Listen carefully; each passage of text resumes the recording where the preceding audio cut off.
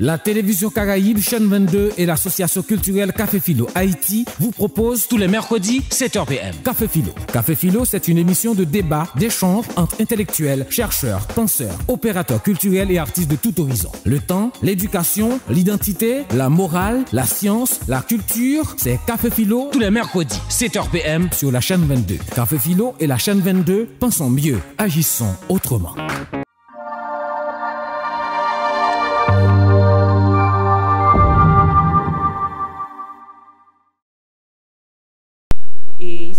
Et malgré que c'est un café philo spécial, nous allons quand même respecter le format habituel de café philo. Donc, euh, je vous demande, s'il vous plaît, de vous mettre debout pour euh, l'hymne national. Merci.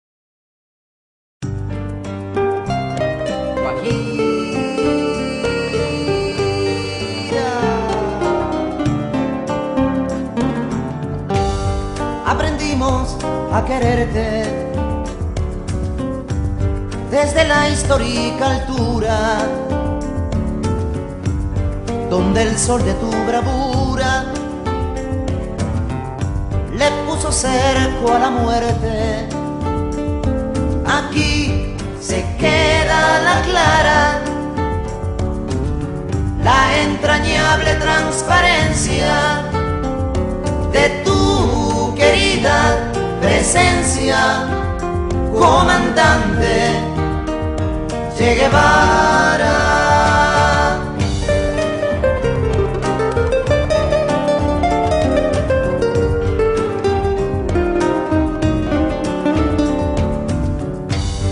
Tu mano gloriosa y fuerte desde la historia dispara cuando todo Santa Clara se despierta para verte. Aquí se queda la clara, la entrañable transparencia de tu querida presencia, comandante Che Guevara.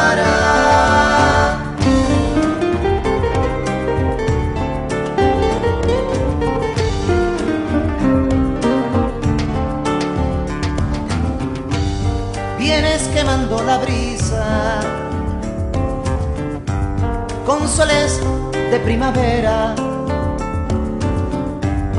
para plantar la bandera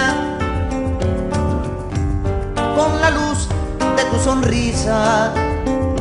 Aquí se queda la clara, la entrañable transparencia de tu querida presencia, comandante Che Guevara.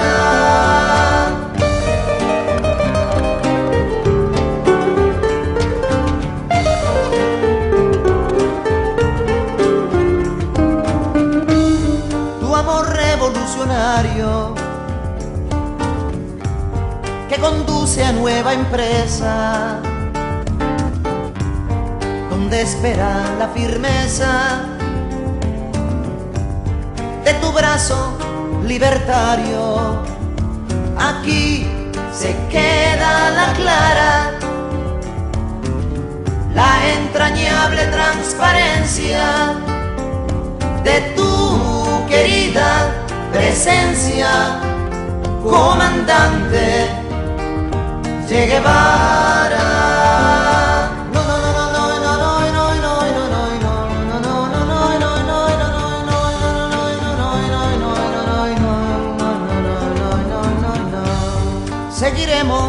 adelante. Como junto a ti seguimos. Y con Fidel te decimos. Hasta siempre, comandante. Aquí se queda la clara. La entrañable transparencia de tu querida presencia, comandante Che Guevara.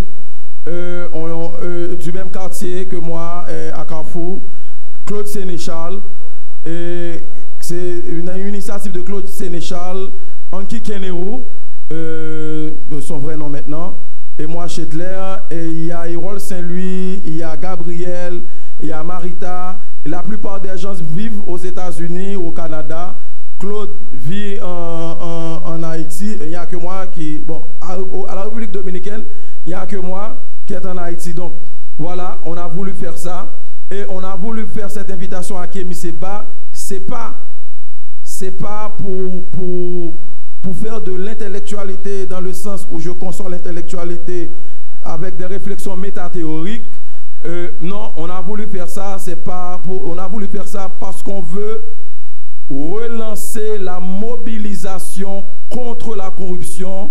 On a voulu relancer la mobilisation pour la souveraineté, surtout politique, du sol des Saliniens. On a voulu relancer la mobilisation. On a voulu relancer la mobilisation contre l'ingérence, contre l'in- l'intervention des puissances coloniales étrangères dans les affaires d'Haïti depuis 1804. Et c'est pour cette raison qu'on a fait cette invitation à Kémy Seba. Et lorsqu'on a dit à Kémy Seba, vu la situation actuelle que connaît le pays, les tensions, les violences, il nous a dit que la violence, le nègre le sait très bien, et ceci depuis 1600, depuis 15e, 16e, 17e siècle, on connaît la violence. Et nous la connaissons très bien, la violence. Et la violence, nous connaissons, nous la connaissons très bien. Voilà, je termine. Et pour passer le micro à la modératrice qui va annoncer Kémy Seba.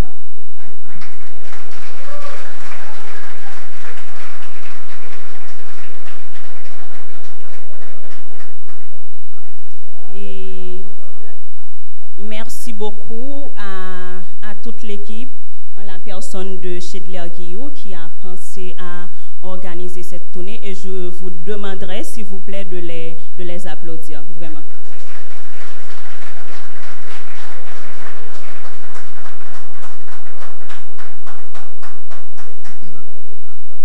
Maintenant, euh, je vous invite à suivre avec moi une projection aud- audiovisuelle. C'est un extrait. Euh, tout de suite après cet extrait de, de Café Philo euh, qu'a présenté Se- Kémy Seba en 2016, je crois. J'appelle le groupe Legba qui a tenu à faire un geste symbolique pendant cette soirée. Donc, euh, j'appelle le groupe Legba sur vos applaudissements.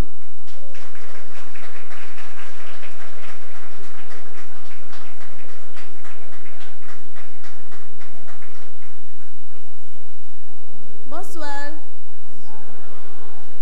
La lutte éclairée des jeunes et en bonté et action, LJBA, que nous représentons aujourd'hui est une organisation à but non lucratif qui a pour mission d'aider, d'encadrer les jeunes et adultes en promouvant l'éducation civique et citoyenne. Le JBA travaille dans les domaines social, culturel et éducatif en vue de contribuer à la refondation et à la souveraineté de notre pays. Elle croit en un lendemain meilleur pour le peuple africain et particulièrement les Haïtiens. C'est pourquoi, vu la lutte forcenée que mène ce grand homme venu du Bénin, le JBA prend plaisir à décerner cette plaque d'honneur et mérite à M. Stello Capochichi, dit Kémy Seba,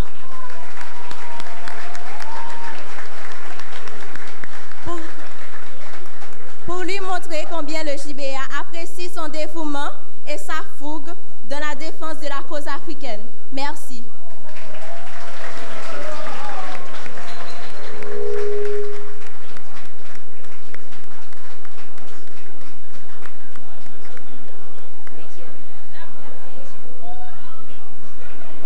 Je suis venue à la rencontre de la terre d'Haïti parce que je dis toujours, lorsqu'un musulman veut aller en pèlerinage, il va à la Mecque.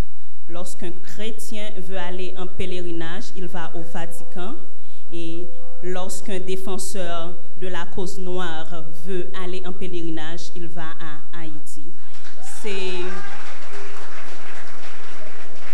C'est vraiment en, en- en ces termes que j'invite euh, Kémy Seba à prendre la parole pour la, présentation euh, du thème euh, de- de cette soirée, le rôle de la jeunesse dans la souveraineté économique et politique du peuple haïtien. Sous vos applaudissements.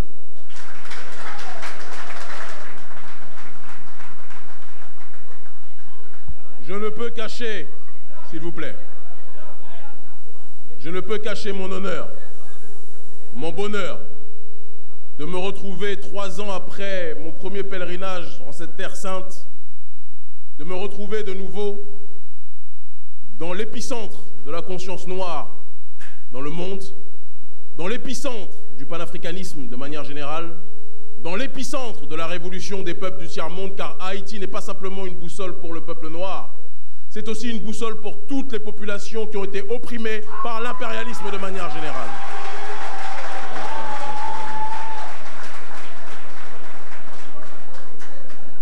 Un honneur, un bonheur, parce que contrairement à ce que beaucoup peuvent imaginer, j'ai eu beaucoup de frères et sœurs depuis notre arrivée qui m'ont dit Nous te remercions d'être venu apporter ton aide à Haïti. Et je les ai corrigés systématiquement. Ce n'est pas moi qui apporte mon aide à Haïti. C'est Haïti qui me nourrit pour que nous puissions mener notre combat pour nos peuples un peu partout dans le monde. Et il faut le préciser.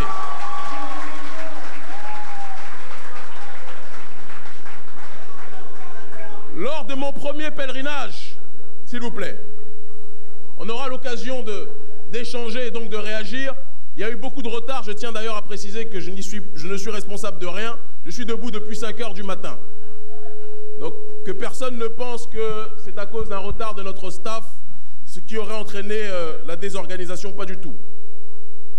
Lorsque je suis venu il y a trois ans, la rencontre de la jeunesse, la rencontre avec certains Ougans, avec certaines Mambo surtout, notamment Baina Bello, que je vous demande d'applaudir, s'il vous plaît.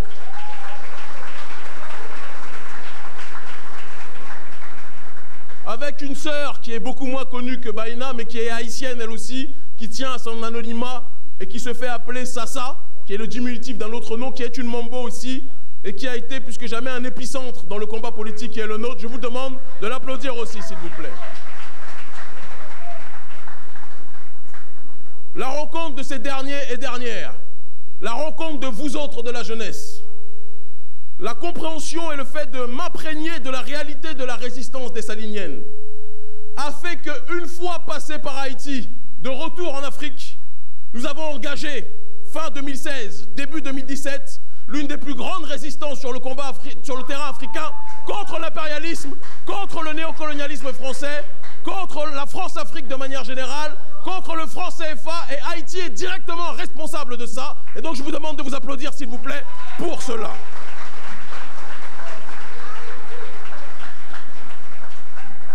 Une fois ce préalable et ce contexte posé, il est aussi évidemment important de saluer tout le monde. Donc je salue toute l'Assemblée.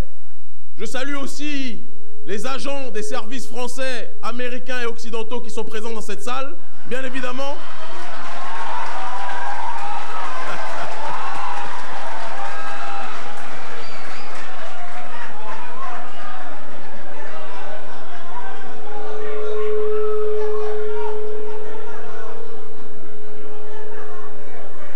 Criez pas, je n'ai pas encore commencé. Je tiens à préciser, oui, qu'il est nécessaire de les saluer puisque partout où je vais dans le monde, je me rends compte que les services français tiennent à m'accompagner et à me surveiller. Et donc je les remercie de cette bienveillance. Et qu'ils sachent que dans cette terre dessalinienne, leur stratégie de division, leur stratégie de diabolisation de notre combat, leur stratégie d'ostracisation de la lutte pour la souveraineté de notre peuple ne pourra pas marcher parce que la terre de la résistance est ici à Haïti et les stratégies de l'impérialisme ne pourront jamais permettre d'asphyxier notre combat politique.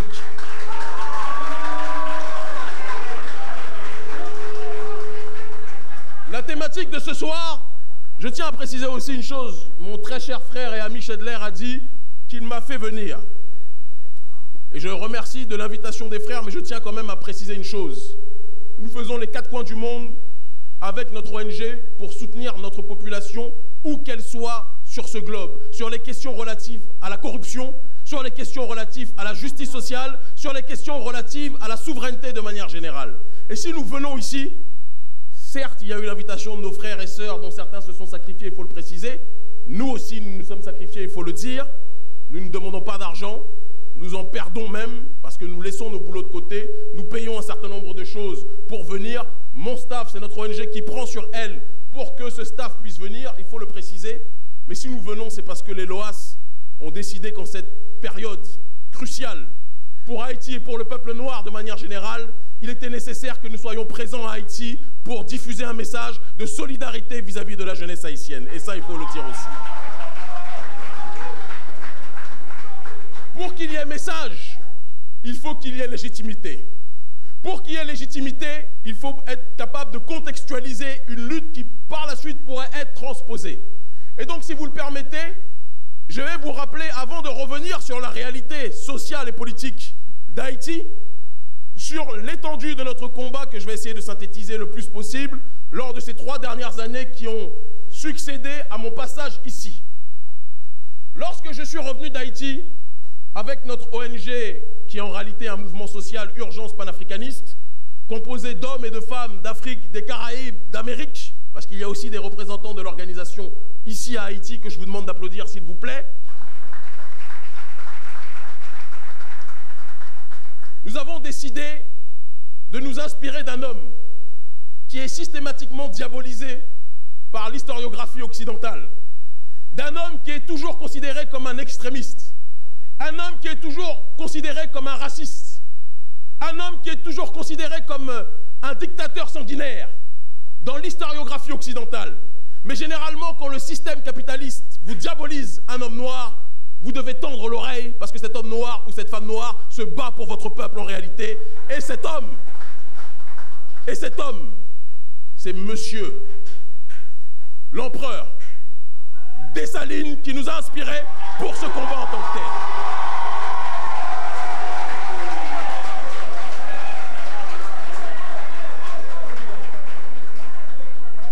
N'applaudissez pas trop fort, les services français risquent de faire une crise cardiaque. Pourquoi? Pourquoi parler d'inspiration de Dessalines pour nous autres qui étions sur le continent africain ou dans les Caraïbes de manière générale? Parce que Dessalines est un homme comme vous et moi, qui n'était pas forcément prédestiné à prendre les responsabilités du leadership et de l'autodétermination de sa population, qui a servi les ordres ou qui a servi sous les ordres d'autres leaders décrétés en tant que tels, et qui à un moment donné a constaté que le leadership qu'il était censé suivre n'allait pas dans le, forcément dans le bon sens. Et il a pris ses responsabilités. Il a interrogé les ancêtres. Il a interrogé le divin. Il a interrogé ses aïeux. Il a questionné son énergie créatrice. Et il s'est dit qu'il ne pouvait pas laisser son peuple être déterminé par autrui. Il était temps que chacun prenne ses responsabilités. Et il a pris ses responsabilités, lui qui était un homme du peuple. Et il est devenu le Dessaline que le monde noir entier connaît. Et si cet homme, parti de rien, a pu prendre ses responsabilités et terrasser l'impérialisme français et l'impérialisme occidental de manière générale, eh bien nous nous sommes dit que nous autres, prolétaires sur le continent africain ou dans la diaspora, en nous inspirant entre autres de cet individu et de sa révolution qui avait donné de la fierté au monde noir dans sa globalité, nous avions nous aussi la possibilité de nous organiser sur le terrain face à des puissances extrêmement grandes qui saignent le continent africain, mais qui saignent aussi les populations de la diaspora. Et c'est ainsi que notre organisation Urgence panafricaniste, financée par des footballeurs, entre autres, il faut le dire, mais c'est le succès qui a fait en sorte que des footballeurs se sont reconnus dans notre combat, il faut mettre les choses dans l'ordre, notamment Nicolas Anelka, que je vous demande d'applaudir s'il vous plaît.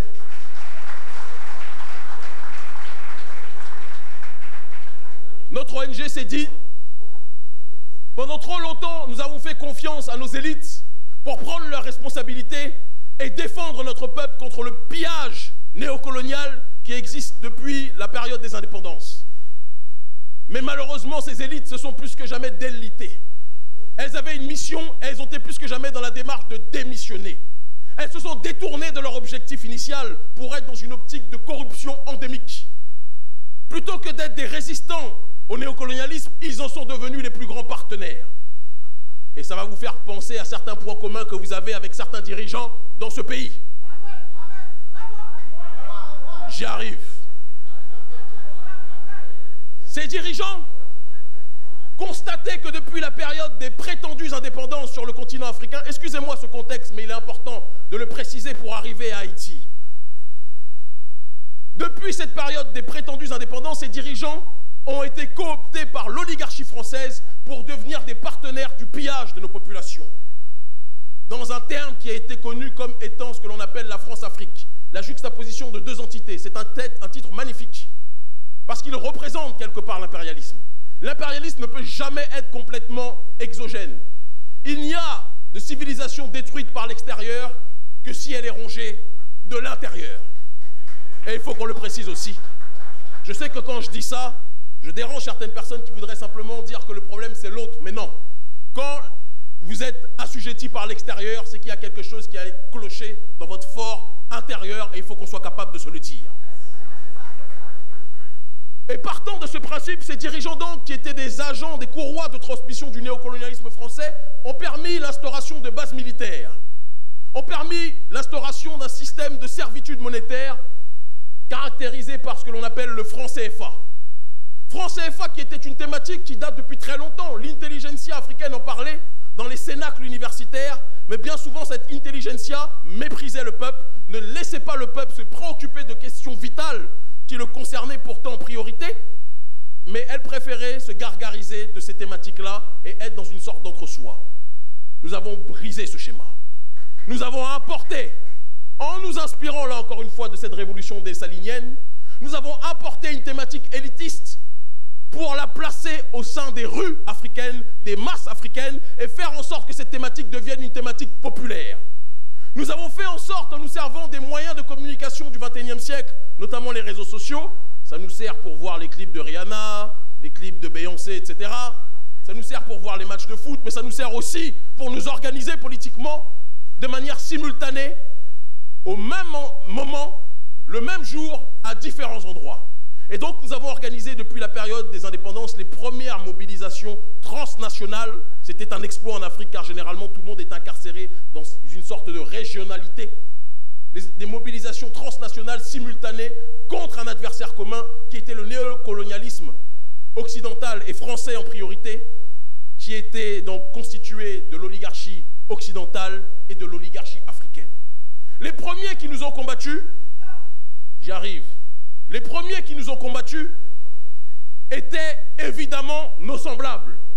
Parce que vous savez comment ça se passe. À chaque fois qu'un homme noir ou une femme noire se lève pour défendre l'autodétermination de sa population, les premiers qui vont s'opposer à ce dernier, ce n'est pas l'oligarchie française. Ils ont compris depuis très longtemps la, logique de la sous-traitance. Ils vont payer certains Africains pour que ceux-ci vous attaquent dans les médias et vous fassent passer pour des extrémistes, pour des racistes, parce que c'est bien connu. Parce que c'est bien connu. Quand un nègre ou une négresse prêche l'estime de soi, l'impérialisme appelle cela de la haine. Sans doute parce que notre peuple a été programmé depuis trop longtemps pour aimer tout le monde à l'exception de lui-même. Et ça, c'est un problème de fond sur lequel on doit tous réfléchir. Nous avons organisé ces mobilisations avec une telle efficacité que le sujet est revenu au centre de gravité de la table ou de l'agenda africain de manière générale, et nous avons forcé le président de l'époque de la République française, François Hollande, à se prononcer sur la légitimité ou non du franc CFA, chose qui n'était pas arrivée depuis la création de cette monnaie, nous devons le préciser. Et ça, nous ne le devons pas à l'élite, à la bourgeoisie intellectuelle qui méprise le peuple, mais nous le devons à des jeunes comme vous et nous, qui avons décidé de nous organiser, de prendre notre destin en main parce qu'il y a un adage qui dit que quand vous donnez votre confiance à quelqu'un pour qu'il accomplisse à votre place votre destin et qu'il vous trahit une fois, c'est une chose. Deux fois, c'est une chose. Trois fois, c'est une chose. Si au bout de la quatrième occasion, vous lui reconfiez votre destin, ce n'est pas lui qui est maudit, c'est vous qui êtes assez bête pour confier votre destin à l'avenir plutôt qu'à vous-même.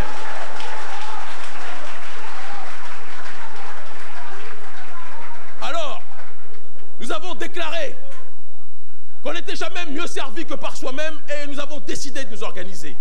Le point culminant de ces mobilisations Le point culminant de ces mobilisations a été un acte qui me faisait risquer entre 5 ans et 10 ans de prison. Je le savais avant de commettre l'acte. Mais nous avons déclaré et nous avons décidé collectivement avec les membres de notre ONG que nous étions, que notre peuple est déjà en prison depuis très longtemps et 5 à 10 ans de prison n'est pas quelque chose qui peut nous empêcher de commettre une action pour la libération de notre population. Et cet acte, c'était de prendre un billet de francs CFA devant les médias africains avec lesquels je suis lié depuis très longtemps puisque je suis journaliste politique depuis maintenant 2012-2013 dans la plupart, dans de bons nombres de médias africains d'Afrique francophone. Devant ces médias, nous avons brûlé un billet de 5000 francs CFA. Et nous savions et nous savions qu'en faisant cela, cet acte deviendrait viral et intensifierait la lutte contre le franc CFA. Et ça a été bingo. L'ambassade de France a commencé à stresser, l'oligarchie française a stressé, la bourgeoisie nègre cooptée par l'oligarchie française a stressé, elle a commencé à twerker de stress, Et la jeunesse africaine a commencé plus que jamais à se galvaniser et à comprendre les enjeux dans lesquels elle était installée. Et nous avons tellement poussé le débat loin que nous avons forcé les chefs d'État africains à ressortir un ancien projet qui date des années 60, qui était la monnaie unique de la CDAO ouest africaine, que nous appelons aujourd'hui l'ECO, même si l'oligarchie française essaye encore une fois, comme les représentants des RFI peut-être dans cet espace le savent, Je, reviendrai sur eux après. Je, reviendrai sur...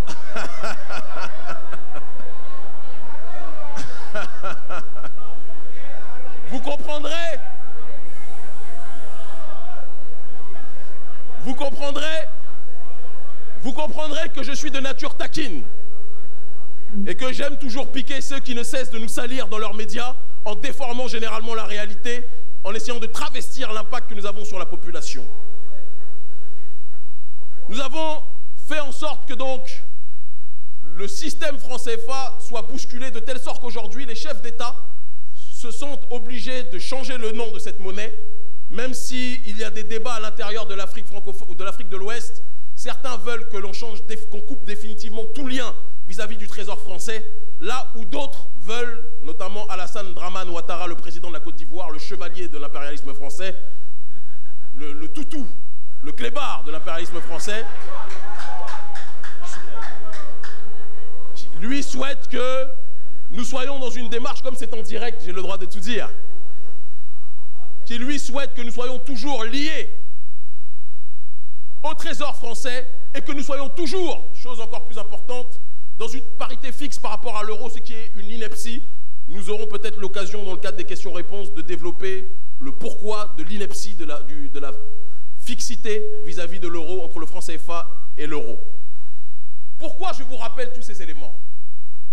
Je vous rappelle tous ces éléments parce que l'homme qui se pose devant vous n'a pas eu besoin d'être euh, à la tête d'un parti politique coopté par l'Occident.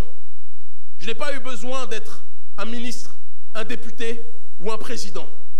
Je suis un citoyen et nous sommes des citoyens, hommes et femmes comme vous ici présents, qui à un moment donné de leur destin de leur histoire ont compris qu'ils ne pouvaient plus attendre éternellement des autres ce qu'ils pouvaient faire pour eux-mêmes. L'une des raisons principales pour lesquelles le néocolonialisme français, et notamment le franc CFA, perdure en Afrique francophone, c'est parce que ce franc CFA bénéficie profondément à la classe dominante politique africaine, au sens que le système de la zone franc permet la libre circulation des capitaux sans aucun contrôle, de telle sorte que la bourgeoisie africaine et les dictateurs africains corrompus peuvent très facilement rapatrier leurs capitaux en France ou en Suisse sans aucun contrôle, à partir du moment où ils laissent la France nous piller parallèlement, c'est un accord, c'est un échange de bons procédés. Et de la même façon, les multinationales occidentales, françaises notamment, ont la possibilité, via le franc CFA, de pouvoir rapatrier leur argent sans aucun contrôle. Parenthèse fermée par rapport à l'Afrique, et nous venons donc maintenant par conséquent à Haïti, mais j'espère que dans le cadre des questions-réponses, nous aurons l'occasion de développer la thématique justement, notamment du franc CFA et des inconvénients sur le continent africain et du néocolonialisme français de manière générale. Revenons à Haïti. Avant que nous arrivions, certains ont essayé de nous dissuader de venir en partant du principe que le pays connaissait une vague de violence. Et j'ai souri. J'ai souri. Parce que la question n'est pas de savoir si le pays connaît une vague de violence. La question est de savoir quels sont ceux qui ont intérêt à ce que le pays soit paralysé dans le cadre de la violence. C'est la vraie question qu'il faut se poser. Le problème est que tant qu'on ne se pose pas les bonnes questions, on ne pourra jamais avoir les bonnes réponses. Ce peuple haïtien, de génération en génération, peuple haïtien boussole de la nation et de la diaspora africaine et du peuple africain de manière générale. Ce peuple haïtien a systématiquement, bon gré ou mal gré, certaines fois on ne lui a pas demandé son avis, et d'autres fois l'avis a été donné, ont confié leur destin à des politiciens qui, lorsqu'ils étaient en campagne, vous promettaient vents et marées. Vous promettez les plus grandes choses pour l'avenir d'Haïti. Vous promettez que Haïti redeviendrait le peuple qui se doit d'être, en l'occurrence l'une des plus grandes puissances d'Amérique centrale. Est-ce vrai ou est-ce faux ce que je dis? Est-ce vrai ou est-ce faux ce que je dis? Mais c'était un petit peu comme une mode. C'était un petit peu comme une mode. À chaque fois que la période électorale était terminée, les mêmes qui se présentaient comme des Pères Noël de vous autres disparaissaient et devenaient les pires cauchemars de ce que vous-même vous étiez en train de combattre ou de ce que vous-même vous étiez en train de souhaiter pour l'avenir de votre peuple. Ces mêmes politiciens qui vous disaient qu'ils allaient créer de l'emploi, qu'ils allaient lutter contre la corruption, qu'ils allaient faire en sorte de développer les secteurs de la jeunesse. Lorsque lorsque lorsque ces politiciens sont arrivés à la destination était par eux tant souhaitée, ils sont devenus les apôtres de la corruption qu'ils étaient censés combattre auparavant. Il faut qu'on soit capable de se le dire.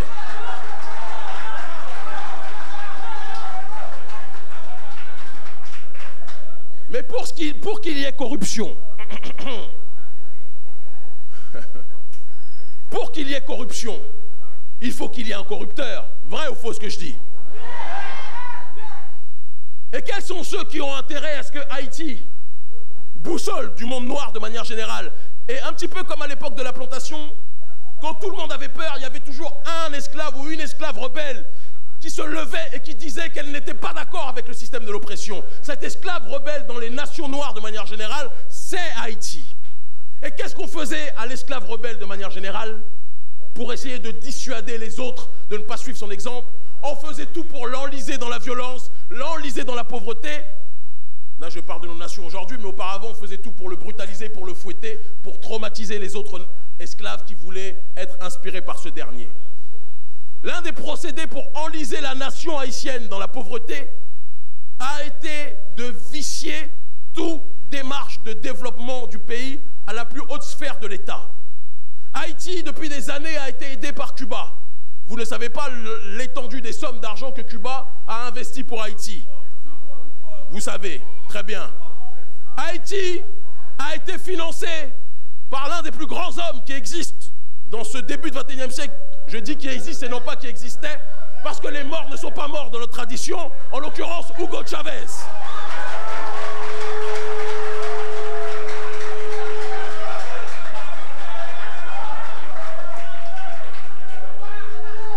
Chavez, Hugo Chavez le disait lui-même, avec clarté, froideur et sincérité. Il disait qu'il n'y aurait pas de lutte en Amérique latine contre l'impérialisme s'il n'y avait pas eu Haïti. Il disait qu'il n'y aurait pas de lutte dans le tiers-monde s'il n'y avait pas eu Haïti, et qu'il avait donc une dette vis-à-vis d'Haïti. Mais où est passée la dette? Il a donné l'argent, mais est-ce que vous avez vu la couleur de l'argent?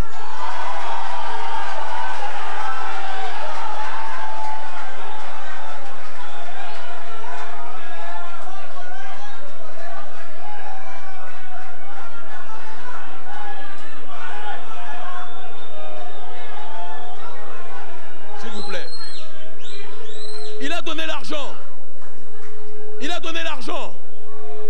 S'il vous plaît. S'il vous plaît.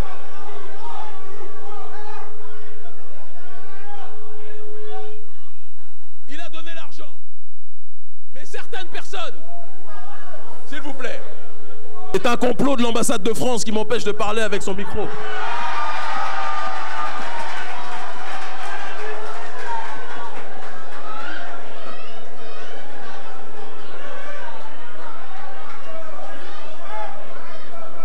L'argent S'il vous plaît, s'il vous plaît, s'il vous plaît. Pour qu'on arrive rapidement à la période des questions-réponses, juste que je termine mon propos. L'argent aurait dû être reçu pour que le développement du secteur de la jeunesse, pour que la création d'emplois puisse être effectuée. L'argent aurait, aurait dû être reçu pour que des routes, dans un état normal, puissent être construites, parce qu'il n'est pas normal qu'entre différentes villes, on soit obligé de faire du toboggan pour arriver d'une ville à une autre. Au XXIe siècle, ce n'est pas quelque chose d'acceptable. Mais cet argent, plutôt que de servir, mais cet argent, mais cet argent, plutôt que de servir, a servi à des personnes qui auparavant avaient des petites voitures, ça leur a servi à avoir de très très grosses voitures. Ça a servi à des personnes, une classe politique qui se présentait comme des chevaliers du peuple. Ça a permis à ces personnes-là de devenir des propriétaires de divers immeubles, de divers grands hôtels, d'avoir des villas à Miami, d'avoir des villas partout, mais le peuple n'a rien eu.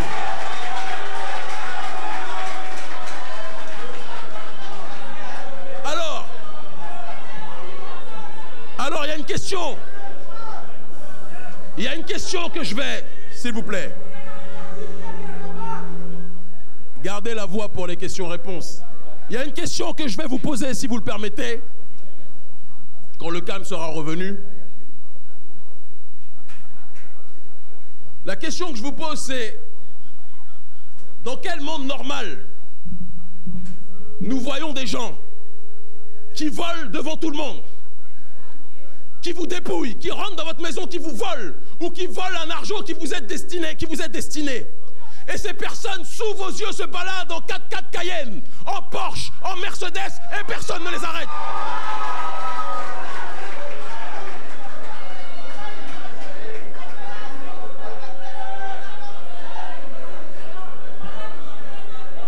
Alors la question que je vais vous poser, et moi je vais vous dire comment un peu partout dans le monde on réagit quand des gens nous volent. Quand des gens nous volent, on les arrête. Et si la justice ne veut pas les arrêter, le peuple se fait justice lui-même.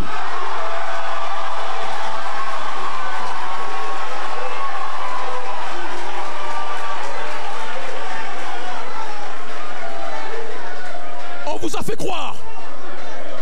On vous a fait croire.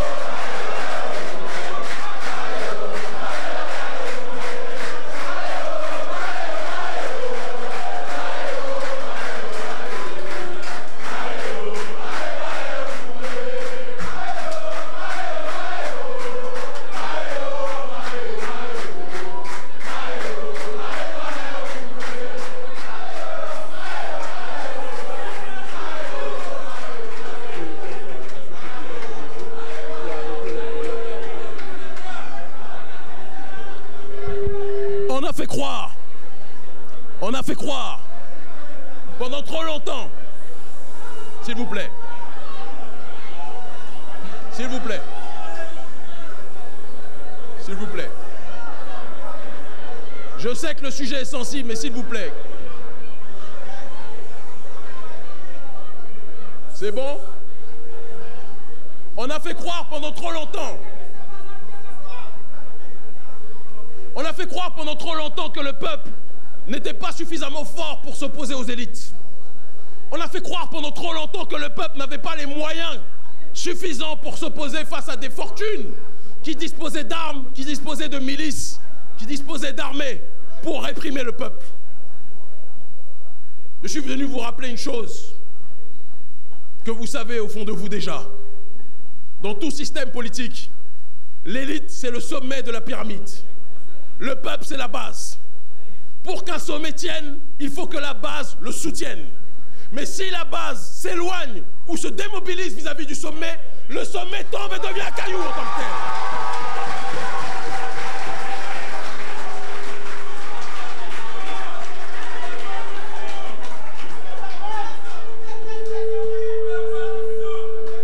La personne qui vous parle vous parle par expérience de vie.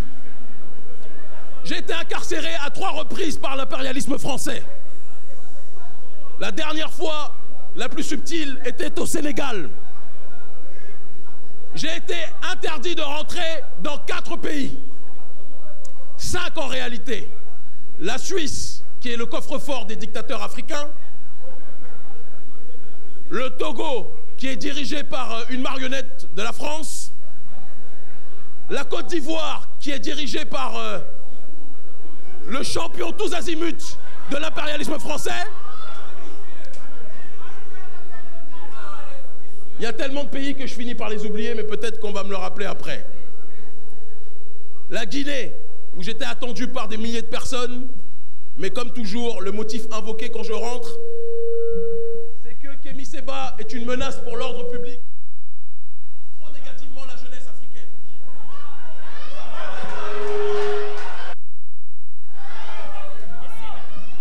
Et la question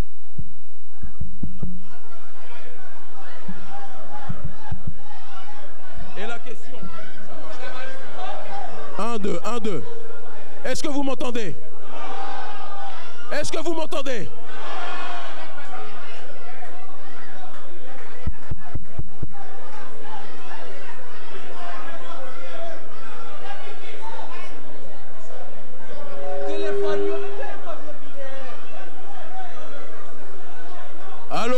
Je crois que tout le monde m'entend, oui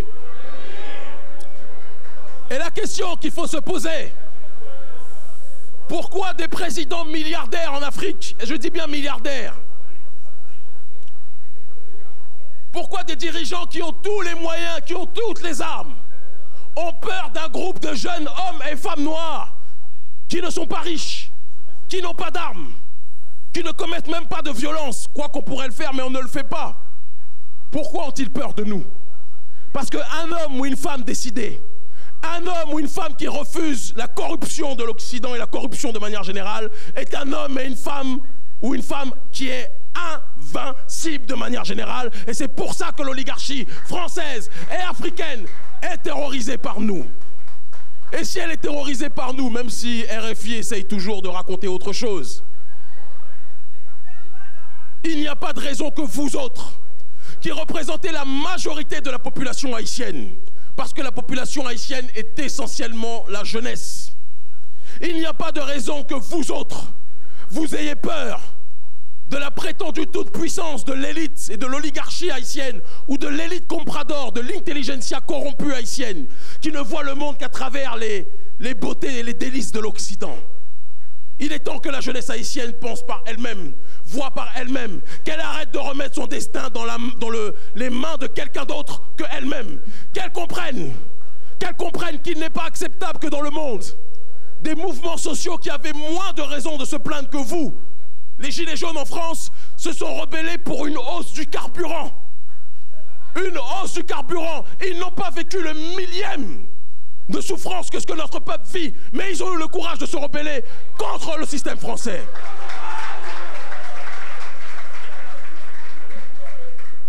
Comment pouvons-nous accepter que des gens qui ont moins de raisons de se plaindre que nous soient capables de se rebeller, de paralyser l'État français, et que nous-mêmes, qui avons toutes les raisons de nous plaindre, qui avons toutes les raisons de nous rebeller, nous soyons dans une démarche de nous mobiliser coup-ci, coup-ça, contre la corruption endémique qui est à la tête de notre État je dis juste une chose en guise de conclusion avant d'arriver à la phase la plus importante de cette soirée, les questions-réponses. Nous avons beaucoup plus les possibilités que nous le pensons de nous rebeller. Nous avons beaucoup plus les possibilités que nous le pensons de nous organiser. Notre ONG Urgence panafricaniste a compris que dans ce, dans ce cliché ou dans ce schéma de David contre Goliath, Goliath est fort à partir du moment où vous pensez qu'il est votre seul interlocuteur. Mais Goliath est beaucoup moins fort quand vous analysez la géopolitique et que vous vous rendez compte que Goliath lui-même a d'autres ennemis politiques du même niveau que lui. Nous avons analysé le monde et nous, nous sommes rendus compte que l'arrogante France jouait l'arrogante avec les Africains ou avec les pays du tiers-monde. Mais l'arrogante France était très calme quand il s'agissait de parler avec certains pays. Quand nous sommes reçus à Cuba, au Venezuela ou en Russie, la France stresse. Parce que la France a voulu nous faire croire que le monde c'était l'Africain et la France. Que nos peuples c'était nos peuples et l'Occident pour euh, élargir la sphère de réflexion. Mais dès lors que l'on casse ce schéma, que l'on casse ce cordon, cordon ombilical et qu'on se rend compte que le monde se divise en deux phases, il y a les nations atlantistes qui prônent une occidentalisation du monde. Et il y a les nations qui refusent cette occidentalisation du monde, qui veulent un monde multipolaire. Dans ces nations, nous pouvons citer Cuba, nous pouvons citer la Russie, nous pouvons citer la Chine, nous pouvons citer le Venezuela. Et je le dis et je le répète, la résistance passera par la compréhension de cette géostratégie et de la nécessité pour les masses prolétariennes noires de s'unir avec ceux qui résistent à l'impérialisme de manière générale.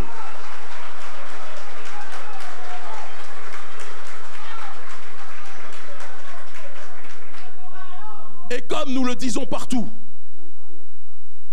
tout mouvement, partout où nous allons dans le monde, c'est le même message. Et nous avons déjà fait bon nombre de connexions sur ce terrain-là. Tout mouvement de résistance qui lutte contre la corruption, qui est une partie de l'impérialisme, parce que ne nous trompons pas, en se focalisant sur une tentacule plutôt que se focaliser sur la pieuvre, on peut passer à côté du débat. La corruption est une des plus puissantes tentacules de l'impérialisme. Mais la machine à abattre, c'est le cerveau de la pieuvre, en l'occurrence cet impérialisme, et c'est ainsi que la corruption, plus que jamais, tombera. Les mouvements de résistance qui le veulent, qui se sentent concernés par l'avenir de nos populations à Haïti ou ailleurs, Urgence panafricanisme met à sa disposition, pour toute personne rigoureuse et sérieuse qui le veut, des contacts géostratégiques et des voyages parfois pour qu'ils puissent aller plaider la cause du peuple haïtien auprès des nations qui résistent à l'impérialisme occidental de manière générale. Voilà ce que je peux dire en guise de conclusion pour cette mise, ou du moins pour cette contextualisation, ou cette mise en bouche. Et nous allons passer à la phase la plus importante maintenant, la phase des questions-réponses, où comme je le dis toujours, il n'y aura pas de tabou. Aïe Bobo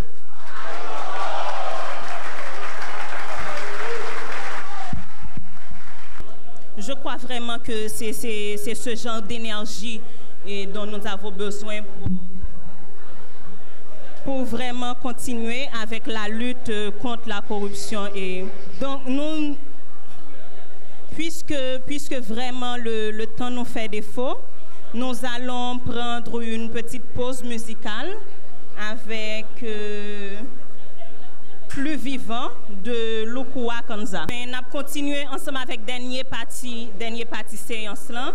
Euh, c'est c'est la, la, la partie, comme a dit euh, la plus importante euh, de cette soirée. Et nous allons prendre six questions. Euh, je, vais appeler, les six personnes et comme ça, ils pourront poser leurs questions de... Oui. C'est Nadège Etienne, Jeffrey Le Prince, Isaac Noël, Calix Venel, Joseph Louis et Casséus Jean Audelin. Ils pourront poser leurs questions à tour de rôle. Je saluer, moi saluer M. Seba. Moi bienvenue en Haïti.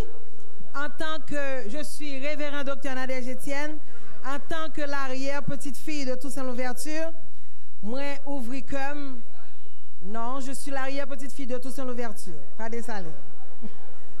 moi ouvri comme très grand pour me recevoir ici là.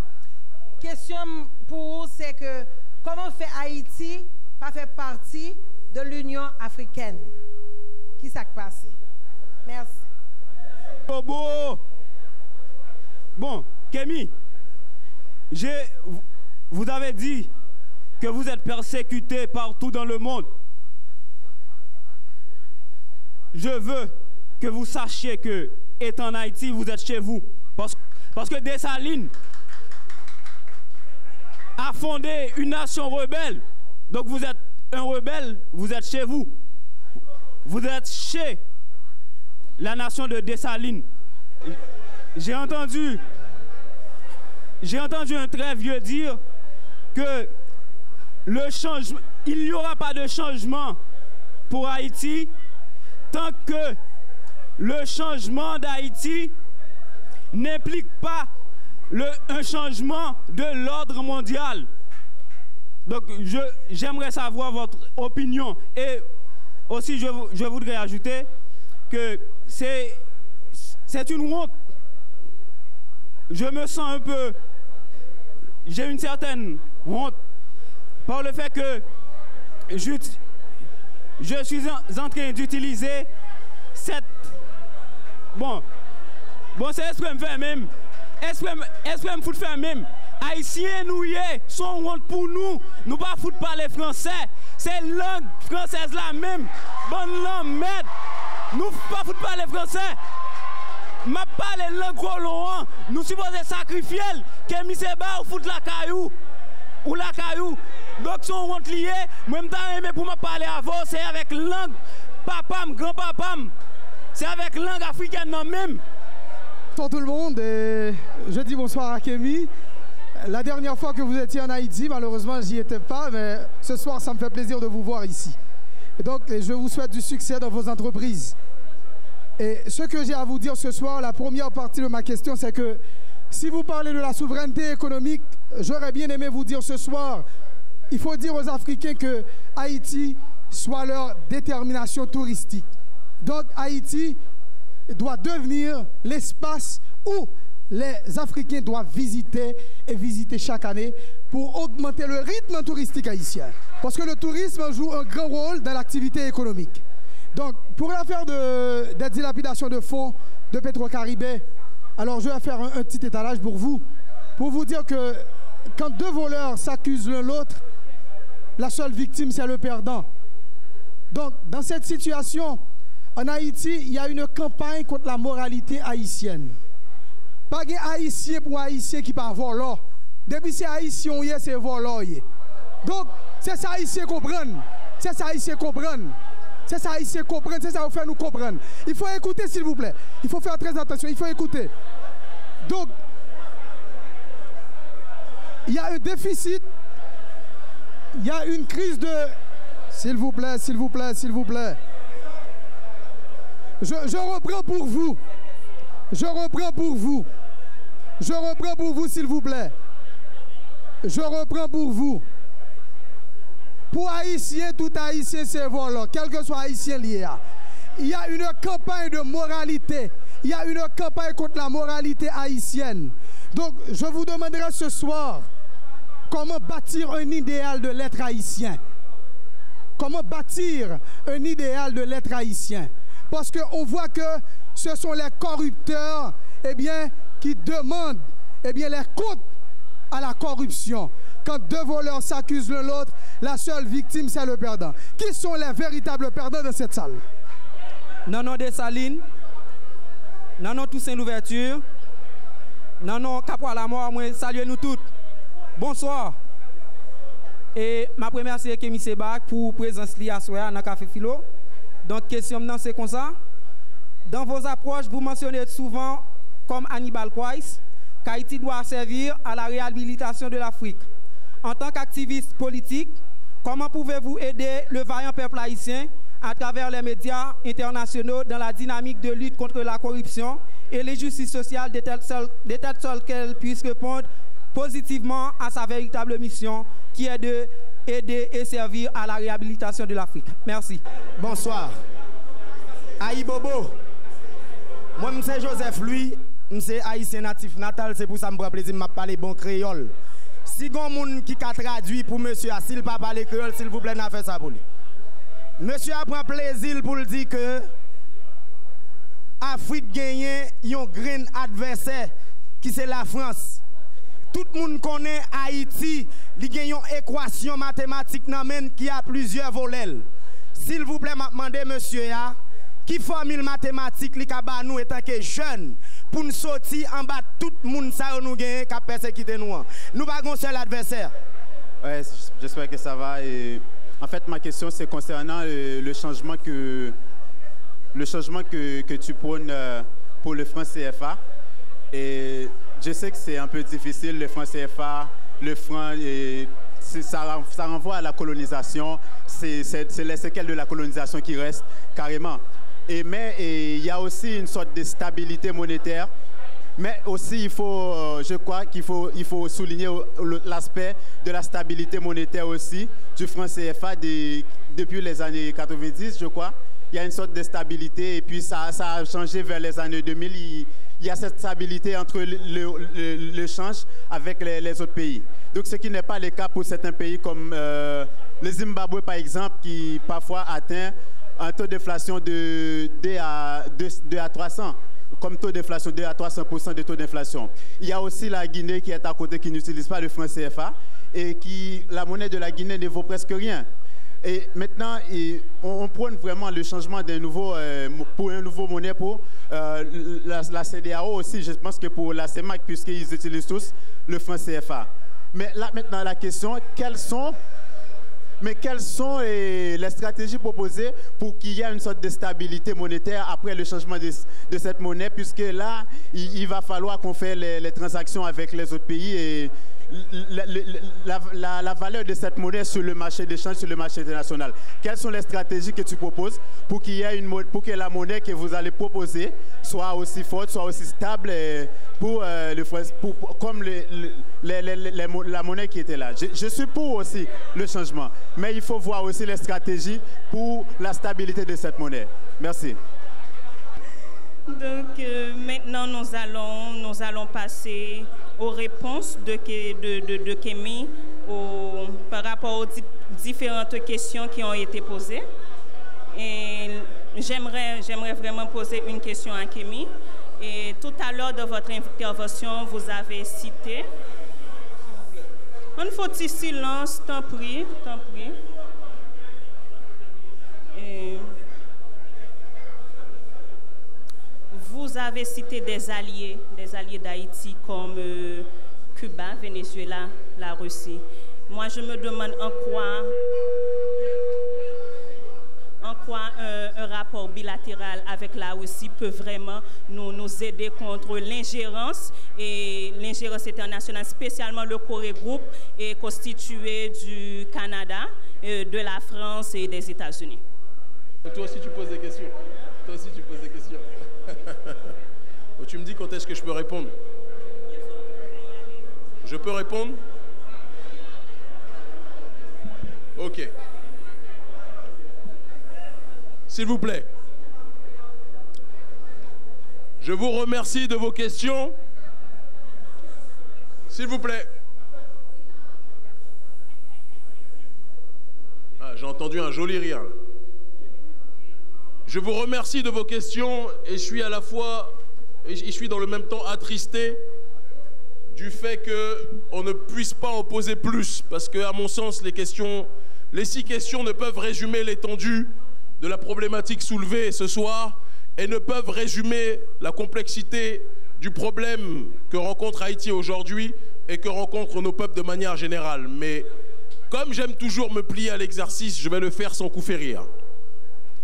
La première question, si je synthétise, en gros, c'est comment faire en sorte que Haïti puisse faire partie de l'Union africaine? Tu me dis si c'était ça la question. Je te remercie infiniment pour la question, ma sœur, et je vais te répondre en deux volets si tu le permets. On m'a menacé de ne pas parler trop longtemps, on m'a dit de, faire court car on a en gros 15 minutes, 20 minutes. Donc je vais être vraiment synthétique. Première chose, quand on voit le Capharnaüm qu'est l'Union africaine aujourd'hui, je n'encourage objectivement personne à rentrer dans ce gang de mafieux. La deuxième chose, c'est que la seule Union africaine qui compte, c'est l'union des peuples africains eux-mêmes. Et cette union se fait lorsque l'Afrique comprend que Haïti, comme je l'ai dit en début d'allocution ce soir, n'est pas un pays comme un autre, mais est une boussole, une terre sainte. Lorsque j'ai dit ça il y a trois ans, il y a bon nombre de frères, certains frères, on va dire, on va essayer de nuancer, certains frères et sœurs m'ont dit que tu ne peux pas dire ça, la terre sainte c'est l'Afrique, Haïti est une extension de l'Afrique, ça ne peut pas être la terre sainte. Et je leur ai dit, ce n'est pas comprendre l'histoire de notre peuple, l'histoire contemporaine de notre peuple et l'histoire de la résistance de notre peuple depuis que nous avons été confrontés à la barbarie oligarchique, et je dis bien oligarchique pour ne pas essentialiser, à la barbarie oligarchique occidentale. Depuis que nous avons été confrontés à ces derniers, à l'élite occidentale, et non pas au prolétariat français ou occidental qui souffre lui aussi, Bien évidemment que Haïti est un phare pour nous autres. Et si Union africaine doit se faire, elle doit se faire en comprenant que Haïti doit être pour nous historiquement, culturellement, intellectuellement un repère dans nos luttes panafricanistes pour l'autodétermination de nos populations. Donc comment faire pour que Haïti fasse partie de l'Union africaine? Je te répondrai, ma sœur, que la seule union qui compte pour Haïti, pour la population haïtienne, c'est l'union avec les autres populations africaines de manière générale. Et ça passe. Et ça me permet de rebondir sur une autre question qui a été posée tout à l'heure, qui est en réalité la question 3. Cela passe par l'organisation systémique de pèlerinage organisés pour bon nombre d'Africains et d'Afro-descendants vers Haïti chaque année. Et Urgence panafricaniste est dans ce processus avec certains acteurs de terrain ici pour que bon nombre d'Africains et d'Afro-descendants, chaque année, à une période clé de l'histoire d'Haïti, puissent venir en pèlerinage commémorer la résistance, non pas d'Haïti seul, mais du peuple noir contre l'hydre capitaliste et contre l'hydre occidental de manière générale.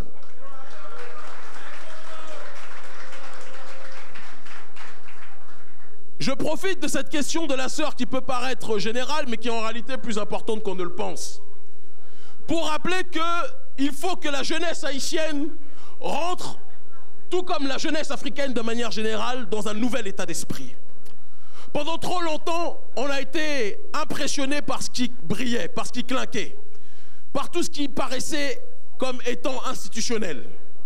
On avait besoin que les gouvernements nous représentent, que les gouvernements parlent, que les gouvernements nous donnent des billets de reconnaissance. Nous sommes au XXIe siècle. Zbigniew Brzezinski, l'un des plus grands criminels politiques que l'histoire contemporaine ait connu, Zbigniew Brzezinski, levez la main ceux qui ont déjà entendu parler de Zbigniew Brzezinski ici. Grand théoricien de l'impérialisme américain disait que le passage du XXe siècle au XXIe siècle connaîtrait le transfert du centre de gravité du pouvoir qui initialement était aux mains des élites, ce que l'on appelle l'oligarchie, et qui progressivement au XXIe siècle arriverait aux mains du prolétariat.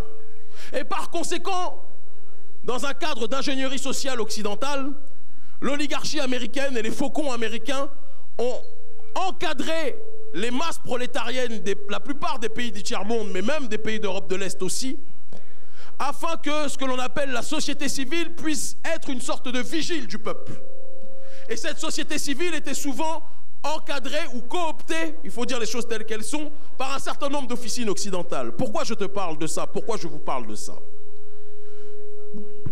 Je vous parle de ça parce que nos adversaires le savent et l'ont reconnu depuis longtemps, et il serait temps qu'on le reconnaisse aussi aujourd'hui les seuls qui sont les détenteurs du pouvoir au XXIe siècle, contrairement à ce qu'on vous a fait croire, ce n'est pas le sommet, mais c'est la base.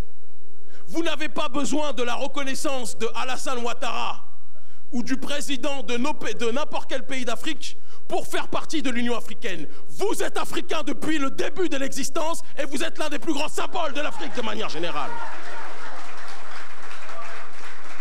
Et de la même façon, je n'ai pas à attendre l'aval des élites africaines ou des élites haïtiennes pour m'ériger contre quelque chose que j'estime être injuste, contre quelque chose que j'estime être vicié. Le devoir du citoyen, quand on parle de démocratie, démocratie, ce n'est pas le pouvoir d'une élite, c'est le pouvoir du peuple. Il est temps qu'on se rappelle de cette définition et que l'on prenne nos responsabilités. Donc, pour conclure sur cette première question, comment faire pour que Haïti fasse partie de l'Union africaine? Je dirais que Haïti, le peuple haïtien est déjà la capitale de l'Union africaine des peuples. Et il est temps que cet échange, cette interpénétration entre ces deux sphères, l'Amérique et l'Afrique, puisse se faire dans le cadre de tourisme, d'un côté comme de l'autre. Il y a de plus en plus d'Haïtiens qui sont aujourd'hui installés sur la terre-mère mais il faut qu'il y ait de plus en plus d'Africains qui viennent dans un cadre de tourisme réfléchi, politique, culturel et spirituel régulièrement à Haïti pour booster l'économie. C'est un devoir africain et nous ferons en sorte que cette chose-là puisse être matérialisée dans les années à venir. Et nous n'avons pas besoin de l'union des malfrats africains pour cela. Troisième question, puisque j'ai déjà rebondi euh, non, dans la troisième, dans la troisième, dans la, bon, allons sur la deuxième question. La deuxième question avait elle était très intéressante, bien que un peu vague. Mais elle était faite avec beaucoup, posée avec beaucoup d'amour. Et donc je vais répondre avec autant d'amour parce que la bienveillance fraternelle était plus que jamais présente. Le frère a parlé euh, de l'état d'Haïti et a dressé, tu me corriges si j'ai tort mon cher bien-aimé frère, et a dressé un parallèle entre Haïti et le nouvel ordre mondial en expliquant que tant que Haïti sera en bas, le nouvel ordre mondial ne changera pas. Et je rebondirai en disant une chose simple.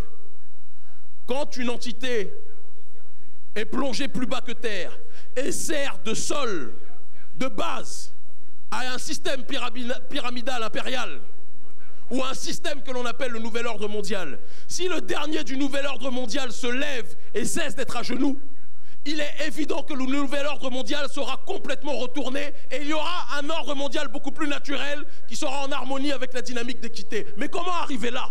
C'est la vraie question. La vraie question qu'il faut se poser, c'est comment se fait-il que, alors que nous sommes issus des populations les plus riches, riches en ressources humaines parce que nous nous reproduisons à la vitesse de la lumière, parce que nous aimons nous reproduire, et ça c'est une force, même si ça ne plaît pas à Emmanuel Macron, qui pour le coup ne s'est pas reproduit, c'est le cas de le dire. J'espère que l'ambassade de France ne sera pas trop fâchée de cette petite blague. Mais les Gilets jaunes sont d'accord avec moi, ce sont mes frères de lutte aussi. En ressources humaines, nous sommes forts. En ressources minières, en Afrique, mais aussi dans les Caraïbes, contrairement à ce qu'on veut nous faire croire, nous sommes forts. En Amérique, on vous dit qu'Haïti est l'un des pays les plus pauvres. Vous êtes sûr? Vous êtes sûr que c'est un pays pauvre? Si c'était un pays pauvre, vous pensez que Bill Clinton aurait tout fait pour envahir ce pays, le coloniser de manière générale?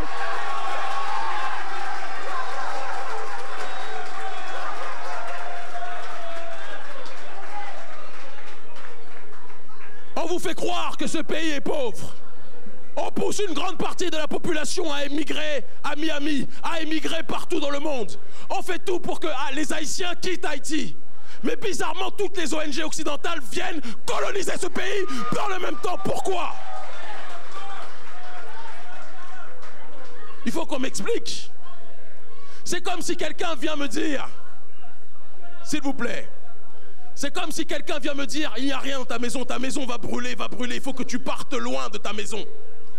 Et la même personne qui vous dit, il faut que vous partiez de cette maison, lorsque vous partez, il prend toutes ses valises et il vient s'installer chez vous. C'est peut-être que la maison n'était pas si mauvaise que ça.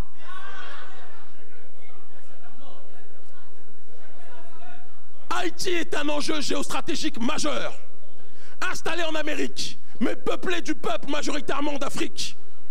C'est une nation qui est à la fois une source d'inspiration pour l'Amérique latine, Simon Bolivar le savait, est une source d'inspiration pour le panafricanisme de manière générale. Tous les grands aïeux panafricains ont toujours loué Haïti comme étant une source d'inspiration et une source de régénération, de régénérescence. Ce pays n'est pas maintenu dans le chaos par hasard. Toute l'humanité entière sait que le jour où ceux qui sont qui ont été les premiers, parce que tout le monde aujourd'hui c'est la mode d'être anticapitaliste, tout le monde est anticapitaliste, ou la plupart. La plupart. Qu'est-ce qu'il a dit? Des, des bolos, c'est le cas de le dire. Des bolos. on, on, sent que tu as étudié, on sent que tu as étudié mes discours car bolos c'est mon insulte préférée.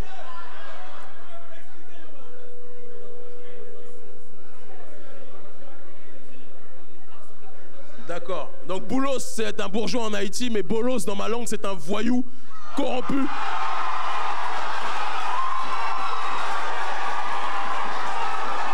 Et donc...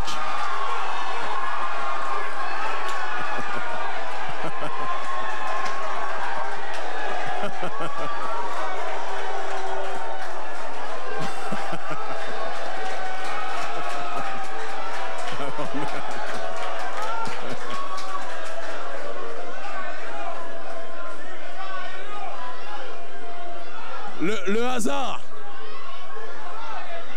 s'il vous plaît, le hasard, le hasard a fait que votre...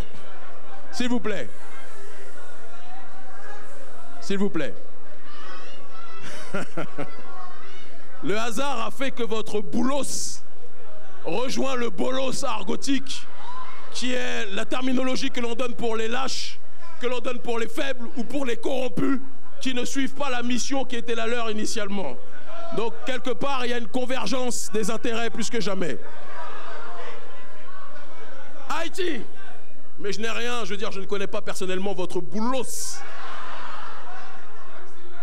J'ai simplement décrit euh, un terme qui est employé dans certaines banlieues que j'ai pu arpenter lorsque j'étais jeune.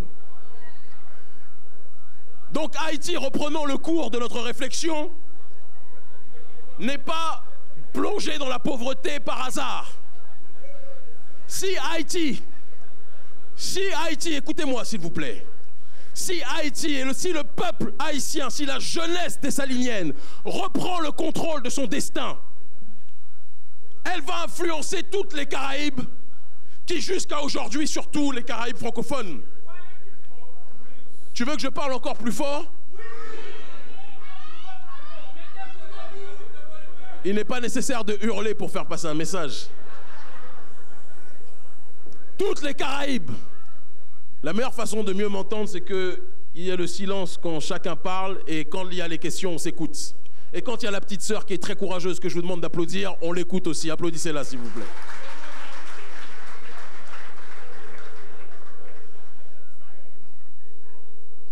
Si Haïti se lève, la Guadeloupe, la Martinique, la Guyane et des tas d'autres endroits vont prendre le même exemple en disant si Haïti l'a fait, nous le ferons. Aujourd'hui, le langage à la mode dans ces endroits, qui sont des contrées que j'aime de toute mon âme, elles aussi parce qu'elles sont peuplées par notre peuple, c'est de dire si on prend notre indépendance, on va ressembler à Haïti. Vous croyez que c'est un hasard? C'est une stratégie coloniale et c'est pour ça que tout est fait pour maintenir Haïti dans la corruption et dans la pauvreté. Nous devons nous rappeler cette réalité. Et la seule, mais il n'y a pas de fatalisme. La seule solution, la seule. Qu'est-ce qu'il dit?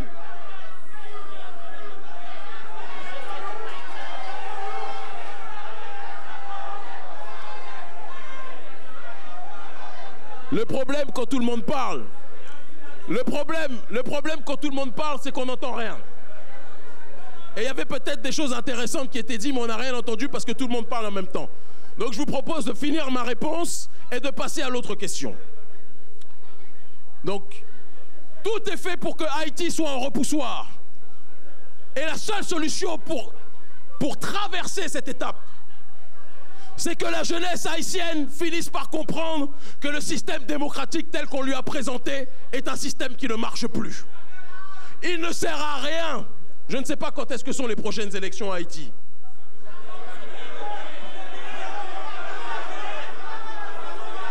Très bien. Je finis donc ma phrase. Je n'ai pas eu de réponse, vous avez tous parlé en même temps, mais je finis quand même ma phrase. Je ne sais pas quand est-ce que sont les prochaines élections, mais je vais vous dire une chose qui est simple. Il n'y a plus aucune élection qui ne devrait fonctionner normalement en Haïti aujourd'hui. Puisque tous ceux qui se sont présentés aux élections auparavant vous ont fait des promesses et n'ont jamais accompli ce pourquoi vous les avez élus, il est temps aujourd'hui que les Haïtiens proposent un autre schéma politique, proposent un schéma de démocratie directe, comme le disait Kadhafi avec la Jamaria.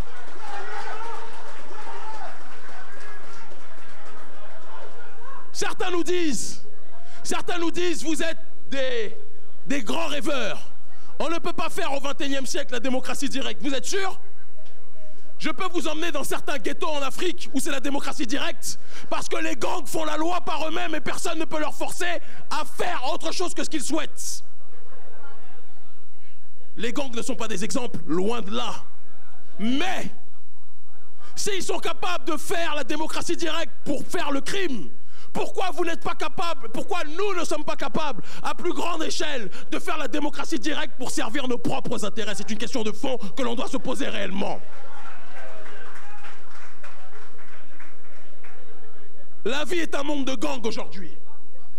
Ceux qui sont à la tête de vos États sont des gangsters en costard, mais ça reste des gangs en réalité. Gang.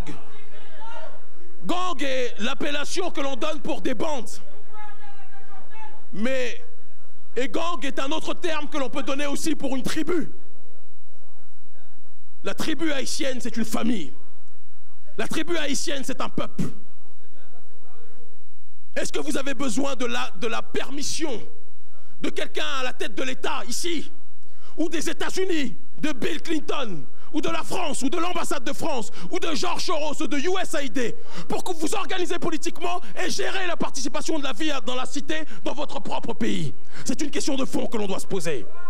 Certains nous disent, certains nous disent, mais Kémy, tu dis ça, mais nous avons besoin d'argent pour faire. C'est un problème principal. Pendant trop longtemps, pendant trop longtemps, des usuriers, des gens qui n'avaient rien ont imposé le schéma de l'argent pour vicier les rapports entre les gens et pour dominer les populations et faire en sorte que toutes, chacune d'entre elles soit assujettie à leur destin. Mais nous existions avant que l'argent, leur argent ou la finance internationale existe. Nous existions avant déjà que le capitalisme dérégulé, que le néolibéralisme sauvage existe. Qu'est-ce qui nous empêche de nous organiser ici et de faire en sorte que dans ce quartier, puis dans les autres quartiers, puis dans les autres villes, de manière générale, la population puisse s'organiser? Il y a une sœur qui a dit, il y a une sœur qui a dit, seul le socialisme libère. Et un autre frère a dit, le communisme. Je vais rebondir, si vous le permettez, sur ce terme.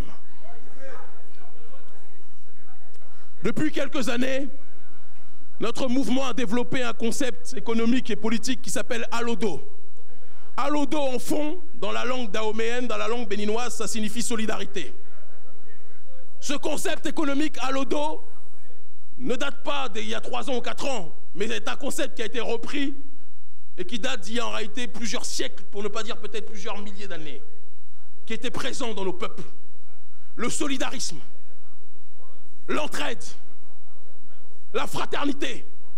Ce sont des valeurs qui sont endogènes, qui sont présentes dans notre peuple bien longtemps avant que Karl Marx ait eu sa barbe qui a poussé. Le problème est que notre peuple a toujours besoin d'avoir des repères extérieurs à lui-même pour exister. Mais nous existions, notre solidarité existait. Et je le dis, quand vous vous revendiquez de concepts exogènes, quand vous vous revendiquez de concepts exogènes, vous devez accepter, s'il vous plaît, c'est très important, vous devez accepter que les détenteurs de ce concept vous donnent des directives dans le combat que vous menez. Et c'est la raison pour laquelle nous refusons. Et c'est la raison pour laquelle nous ne sommes ni communistes, nous ne sommes ni socialistes.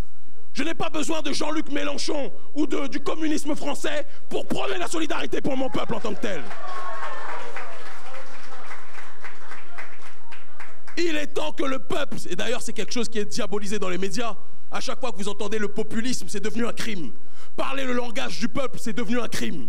Il faudrait être un technocrate pour être un bon leader politique. Voilà le système politique dans lequel nous sommes.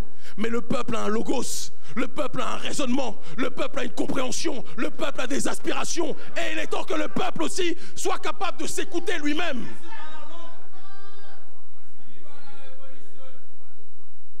Certains me disent, Kémy, comment penses-tu que nous pouvons nous organiser pour faire basculer le système de corruption?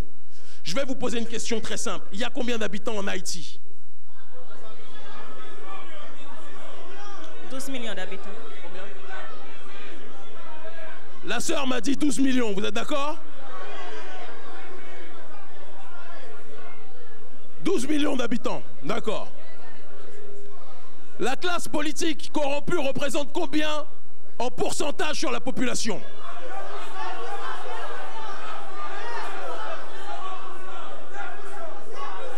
Combien?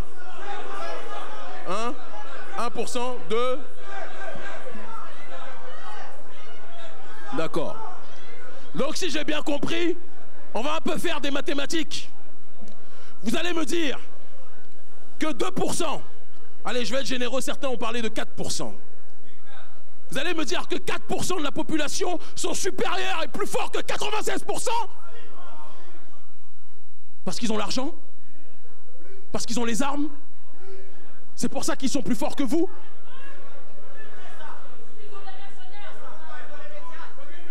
Ils ont les mercenaires. J'ai entendu quelque chose de très intéressant. Ils ont les mercenaires. Écoutez ma réponse, s'il vous plaît. Ils ont les mercenaires, ils ont les médias. Je vais vous donner, je vais vous donner une petite histoire qui répond à cette question. Généralement, j'ai toujours du mal. Je suis comme ça depuis petit. Quand on me donne un ordre, je fais le contraire. Donc si tu m'avais dit avec amour, s'il te plaît, grand frère, est-ce que tu peux te lever? D'accord. C'est déjà mieux.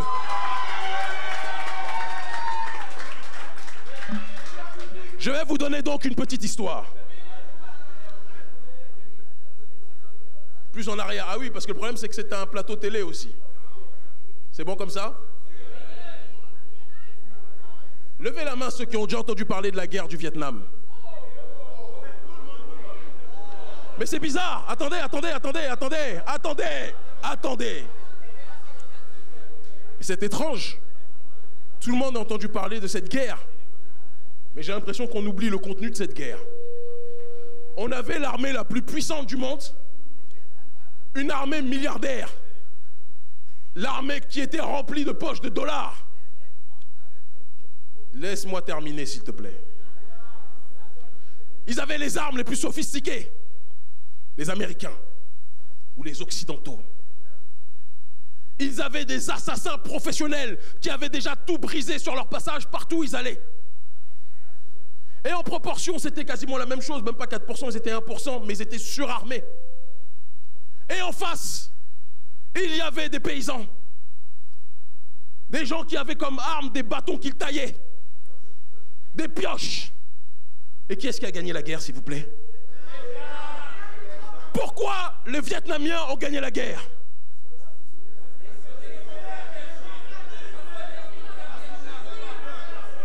Parce que les Vietnamiens ont compris quel était le plus grand ennemi de leur peuple.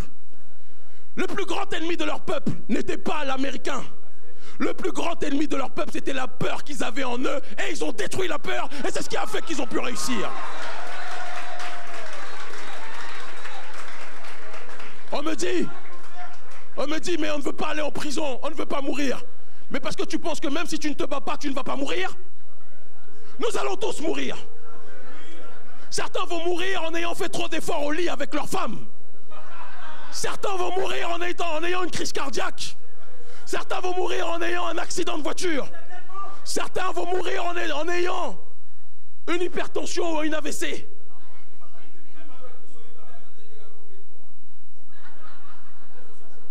Alors la question que je vous pose, me dire qu'on ne veut pas mourir, ça serait valable si en dehors de ce combat, on pouvait être éternel. Mais nous allons tous mourir. Alors la question qu'il faut se poser, on va mourir en étant des esclaves ou en étant des gens rebelles? C'est la question qu'on doit se poser.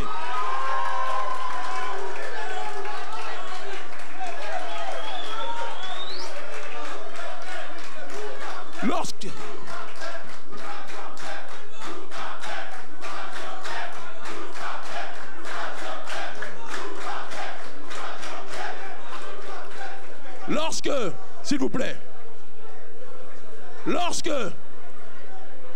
s'il vous plaît, lorsque j'ai commencé le combat politique, ça ne me rajeunit pas. En 1999, lorsque j'ai commencé le combat politique en 1999, certains d'entre vous d'ailleurs n'étaient pas nés. L'un des êtres que j'aime le plus sur cette terre, mon père, m'a dit que c'est un combat perdu d'avance. Ils vont te mettre en prison, ils vont te persécuter, et tu ne pourras pas faire avancer les choses, et ton peuple ne te suivra pas. 20 ans plus tard, j'ai été mis en prison. Est-ce que je suis mort?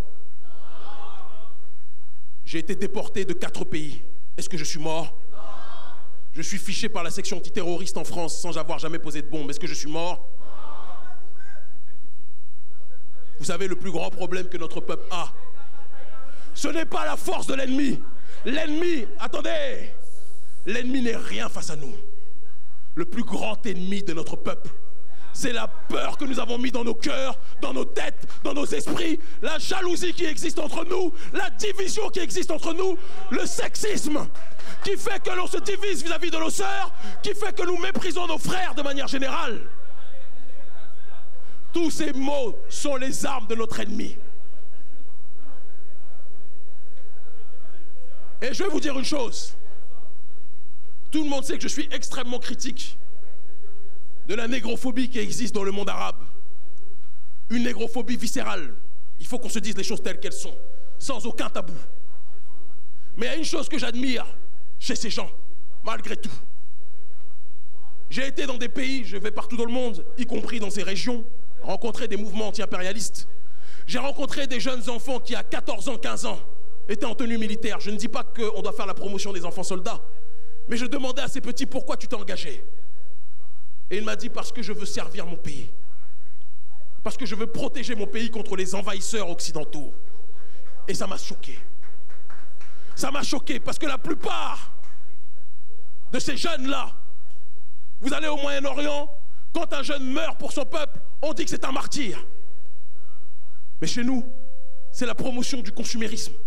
C'est la promotion du néolibéralisme. C'est la promotion de la richesse. On ne veut pas chercher à libérer notre peuple. On veut chercher à rouler en belle voiture avec des belles femmes. C'est notre seule obsession. C'est un problème principal. Attendez, attendez. On va se parler franchement ce soir. Si certains veulent être dans les tabous, je les invite à partir rapidement parce que ce soir, nous allons être dans la franchise plus que jamais. On se plaint. On y arrive, je suis venu pour ça, pas pour autre chose.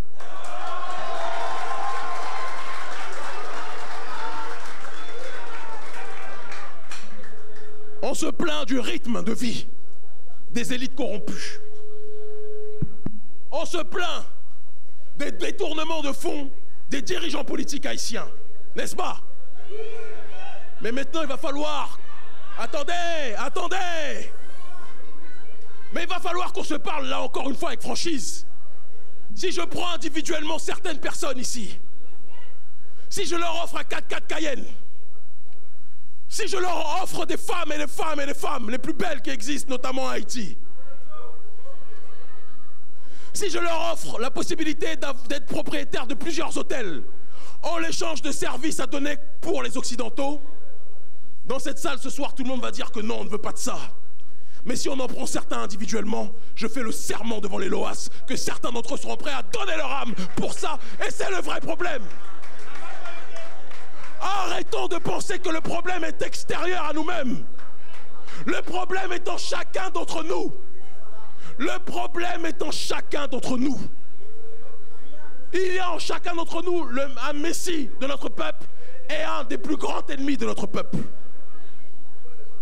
Il faut qu'on se dise ces choses-là. Certains me disent que pour euh, défendre leur dignité, j'arrive, j'arrive. Certains me disent que pour défendre leur dignité, il fallait pas me donner le micro, mon frère. Maintenant que je l'ai, ça va être difficile qu'ils quittent. Certains me disent que pour défendre leur dignité, ils ont besoin de moyens. Ah bon? Vous avez besoin de moyens pour défendre votre famille? Vous avez besoin de moyens pour défendre votre peuple? Vous avez besoin de moyens pour défendre votre mère ou votre père ou votre terre-mère qui se fait violer? Il va falloir qu'on revoie les priorités. Il n'y a pas besoin de richesse pour défendre son peuple. J'ai parlé des Viet Cong à juste titre tout à l'heure. La seule chose que notre peuple, dont notre peuple a besoin, c'est de dignité, c'est de connaissance de soi, c'est de cessation de l'aliénation. Parce que quand vous êtes toujours occidentalisé intellectuellement, spirituellement ou arabisé spirituellement, etc., etc., vous ne pourrez jamais vous libérer. Nous sommes une terre de vaudou, ce n'est pas un hasard ici.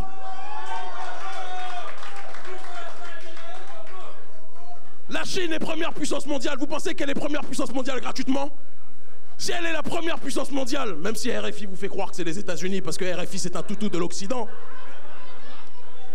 Mais si la Chine est première puissance mondiale, c'est parce que les Chinois, de par Mao, ont mené une révolution politique, mais aussi une révolution culturelle. Ils se sont rappelés de qui ils étaient. Ils ont eu la connaissance de soi et la connaissance de leurs ennemis. Et le problème est que notre peuple ne se connaît pas lui-même et prend pour amis ses naturels ennemis. C'est le véritable problème. Quand des ONG viennent piller vos terres, vous les prenez comme amis et vous dites Ah, ils sont là pour nous aider, ce sont des gentils. Non. Non. Quand on parle de lutte contre la corruption, il faut parler de lutte contre le, corrompu noir et lutte contre le corrupteur blanc. C'est une démarche bicéphale. Il y a deux sphères à combattre et à attaquer. Et ce travail-là ne nécessite pas des millions pour être effectué. J'ai été dans des contrées dans le monde où les gens n'avaient même pas de quoi manger parfois un repas, mais ils résistaient. Alors arrêtons ces fausses excuses qui disent que pour se, pour se révolter, nous avons besoin de fortune, nous avons besoin d'argent. Ceux qui vous disent ça sont ceux qui veulent ressembler à ceux qui sont en haut en train d'être corrompus aujourd'hui. Il faut qu'on le dise. 96% de la population. 96% de la population. La plus grande ressource qu'est la ressource humaine. La ressource humaine. Vous la possédez. Qu'est-ce qui vous empêche de vous soulever collectivement en une journée de manière simultanée dans toutes les grandes villes d'Haïti? Vous avez Internet qui peut vous aider à vous organiser. Qu'attendons-nous pour le faire? Certains me disent qu'Émi, c'est facile. Tu lances des appels, mais seras-tu prêt être avec nous? Mais je suis prêt à être en première ligne avec vous si vous me le demandez. Vous croyez que j'ai peur de la prison?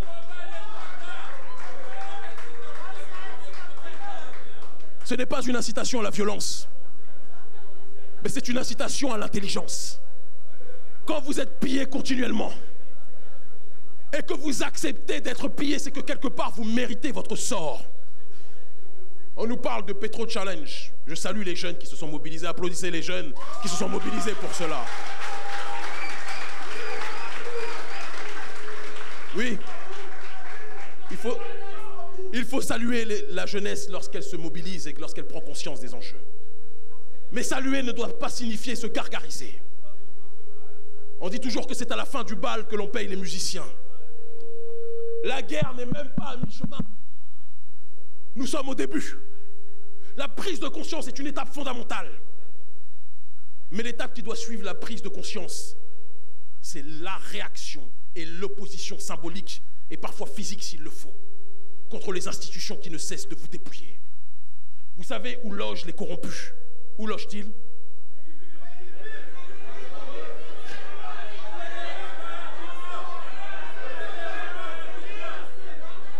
Attendez, attendez, attendez, attendez, attendez.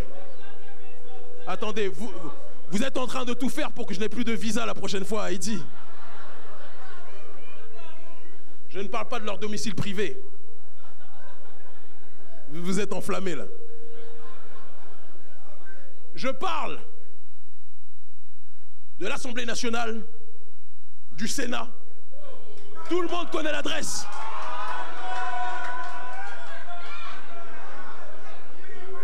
Je vais vous poser une question parce que je suis un novice et parce que je ne connais rien et parce que j'ai besoin de votre expertise. Où logent et où se trouvent ceux qui ont détourné l'argent du Venezuela?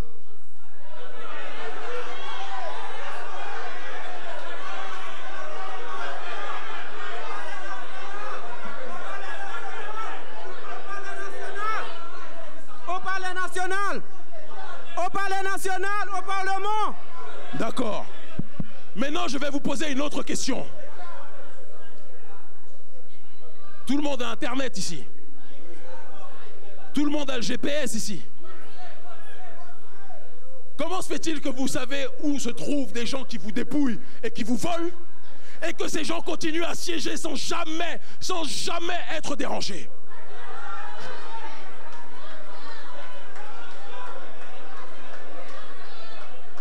C'est une question, c'est du domaine de la science-fiction. Vous savez, dans l'avion en venant ici, dans l'avion en venant ici, j'ai vu un film sur Pablo Escobar. Mais très franchement, Pablo Escobar en stratégie était un petit par rapport aux dirigeants haïtiens, ça c'est la vérité. C'était un enfant de cœur. Parce que Pablo Escobar s'est fait attraper, s'est fait arrêter, s'est fait juger. Mais les dirigeants haïtiens ont détourné autant, sinon plus, mais sont toujours en train de vous diriger. 96% de la population peuvent, s'ils le veulent, paralyser le pays. Vous pouvez, si vous le voulez, si vous mettez de côté chacun d'entre vous, si vous mettez chacun d'entre vous de côté vos égaux, votre fierté, si chacun d'entre vous cesse de vouloir être le chef, parce qu'il n'y a pas d'autre chef que le peuple uni de manière générale. Si chacun d'entre vous met de côté, de côté ses divisions, je peux vous assurer qu'il y aura des démissions en cascade et des arrestations en cascade. Arrêtez de reprocher aux autres le fait de ne pas se sentir menacé par vous. Ils ne se sentent pas menacés par vous parce que pour l'instant, le peuple ne s'est pas suffisamment mis debout. C'est une réalité sur laquelle nous devons réfléchir. Je sais que quand je dis ça, je bouscule votre sensibilité. Mais je ne suis pas venu vous caresser dans le sens du poil ce soir. Je suis venu pour qu'on cherche des solutions ensemble. Dans n'importe quel régime, quand les dirigeants sont dans une démarche de faillir à leur mission, le peuple se révolte, quels que soient les moyens à leur disposition. Vous avez vu au Soudan, malgré la répression, vous avez vu en Algérie, malgré la répression, dans la plupart des pays où les régimes totalitaires sont présents, le peuple se lève. En Afrique francophone où nous sommes, face à l'inique, face aux Français, face au néocolonialisme, le peuple s'est levé. L'avenir d'Haïti n'appartient à personne d'autre que vous-même. Mais il faut qu'il y ait un petit peu d'autocritique. Il faut que l'on arrête avec la victimisation. Et que l'on se rappelle que quelqu'un est au-dessus de vous uniquement si vous lui servez quelque part de base. Et le jour où celui qui est à genoux se lève, celui qui était sur vos épaules finit par dégringoler, c'est un sens logique de l'histoire.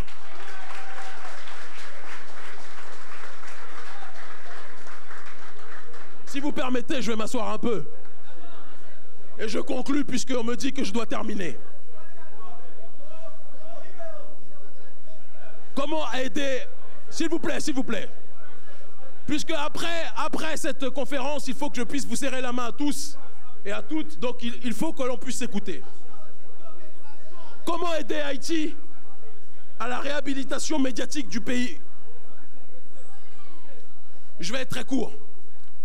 Le simple fait que des, des personnages politiques comme nous décision de faire d'Haïti une plaque centrale de l'histoire du peuple noir, c'est déjà une démarche de réhabilitation. Le simple fait que dans les médias africains, de manière générale, nous passions notre temps, moi et d'autres, à remettre Haïti à la place qui est la sienne, c'est déjà une façon de réhabiliter Haïti dans le sens de l'histoire. Quel conseil pour combattre l'ingérence occidentale et l'ingérence étrangère et la corruption? Et je joins cette question avec une dernière question, sinon on ne va pas s'en sortir. En quoi des pays comme la Russie ou le Venezuela peuvent nous aider contre l'ingérence? Alors, je vais faire un, un rapide exposé de géopolitique en vous rappelant trois cas qui se sont déroulés ces dernières années. Vous avez tous suivi l'agression américaine au Venezuela. Vous l'avez tous suivi, n'est-ce pas? Très bien le sanglier de Donald Trump, et sanglier, je suis méchant avec les sangliers, c'est peut-être parce que je l'appelle sanglier qui m'a interdit de venir aux États-Unis d'ailleurs. Oh, l'hippopotame, c'est plus en adéquation en effet. L'hippopotame Donald Trump a tout fait pour déloger M. Maduro. Pourquoi? Parce que Maduro fait partie de l'axe des nations qui résistent à l'occidentalisation du monde. Maduro fait partie de ceux qui sont pour un monde multipolaire. Et ça dérange profondément les États-Unis. Et qu'est-ce qui s'est passé? Ils ont payé un petit mercenaire, un petit malfrat, une petite frappe, comme il en existe dans tous nos pays. Un bolos.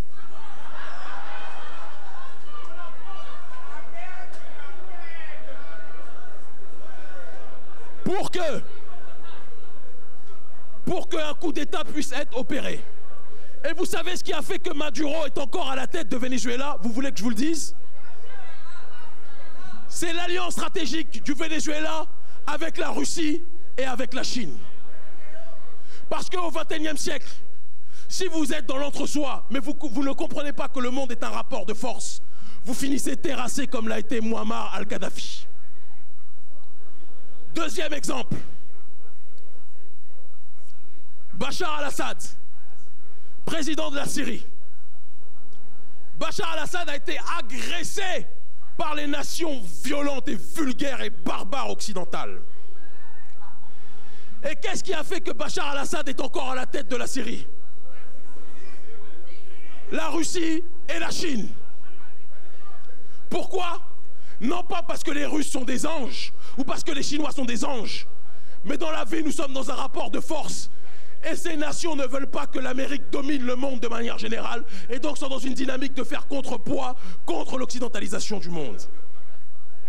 Un autre exemple, Kadhafi, l'un des plus grands leaders contemporains que l'Afrique ait connu. Malgré qu'il y ait des excès, malgré qu'il ait, ait fait des erreurs, malgré qu'il était loin d'être parfait comme chacun d'entre nous, Kadhafi a fait plus pour l'Afrique subsaharienne, pour l'Afrique noire et pour les pays du tiers-monde que bon nombre de dirigeants africains noirs. Il faut qu'on soit capable de le rappeler. Kadhafi a toujours tenu, jusqu'à ce que il décide de se rapprocher, soi-disant selon lui stratégiquement, stratégiquement des nations qui le criminalisaient auparavant.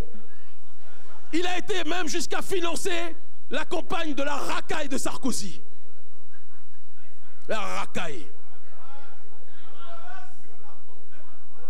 Il a été dans une démarche de financer toute mouvance occidentale qui, selon lui, pouvait lui permettre d'être mieux vu dans le concert des nations, que j'appelle le cancer des nations, autrement appelé l'ONU. Et quel a été le résultat de cela?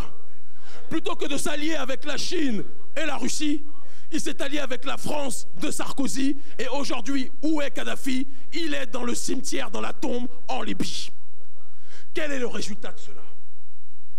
Haïti est une nation puissante, spirituellement, humainement, culturellement puissante.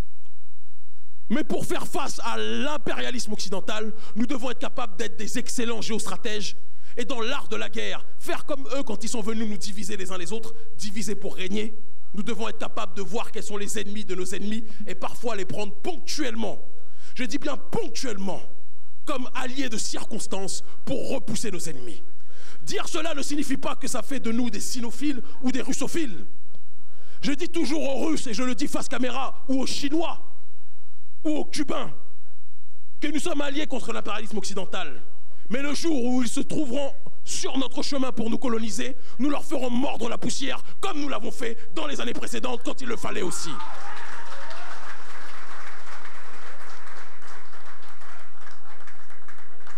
Nous avons besoin de nous imprégner de la manière dont le monde tourne.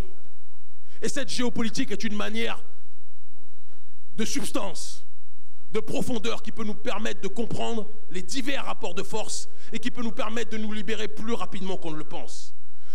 Urgence panafricaniste était fort lorsqu'il était seul, lorsqu'elle était seule, cette organisation.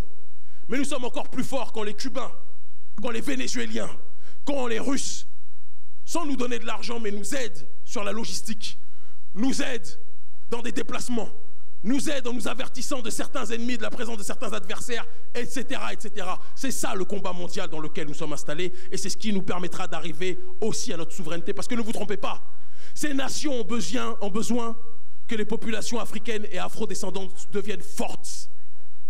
Parce qu'elles savent que nous sommes un élément central dans l'échiquier du monde de manière générale. Je conclurai ma réponse à toutes ces questions qui étaient posées en vrac, qui n'ont pas forcément pu résumer l'étendue de la thématique que je voulais aborder ce soir, mais j'en suis quand même heureux. En vous disant, mes chers frères, que le monde, c'est l'effet papillon. Ce qui se passe à des millions de kilomètres peut avoir une répercussion sur ce qui se passe ici. Le monde entier, à l'heure actuelle, est en ébullition.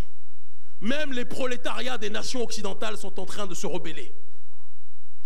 Et pourtant, ces prolétariats, ces prolétariats sont dix fois plus riches que vous.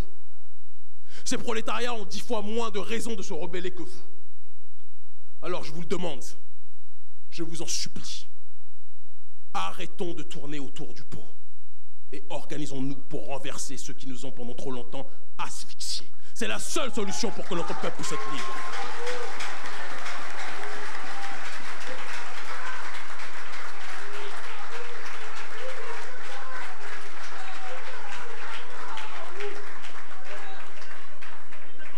Les prisonniers ou les futurs décédés seront des héros de la nation dessalinienne. Je n'appelle pas à la martyrocratie, mais j'appelle à la nécessaire prise de risque. J'appelle à la nécessaire prise de risque. Et ce n'est même pas des risques parce que la manière dont nous vivons ici en dessous du seuil de pauvreté n'est pas acceptable. J'ai été dans des rues en Haïti depuis ces derniers jours, comme lors de mon premier séjour, où j'ai eu l'impression que comparativement, certains pays d'Afrique, c'était New York ou Miami par rapport à ce qui se passe ici. Et pourtant, les pays d'Afrique sont des pays déjà pauvres. Haïti ne peut plus accepter de normaliser l'intolérable, de tolérer l'intolérable ou de normaliser l'anormal. Personne ne peut accepter de vivre avec le peu d'argent qu'un habitant a par mois dans ce pays. Personne sur cette terre ne peut accepter ça. Quel est le salaire moyen en Haïti? Euh, par jour, c'est- ça va dépendre du secteur d'activité. 350 gouttes.